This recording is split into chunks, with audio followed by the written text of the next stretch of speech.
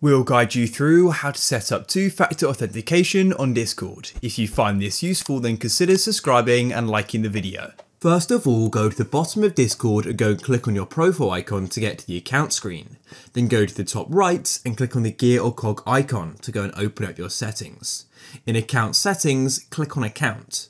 And then what you want to do is go down to multi-factor authentication and you'll go and see the option for enable authenticator app go and click there and you'll go and get a pop-up. And then what you need to do is go and enter in your password. Now what you need to do is download an Authenticator app. So you can go and get an, the app called Authy or Google Authenticator.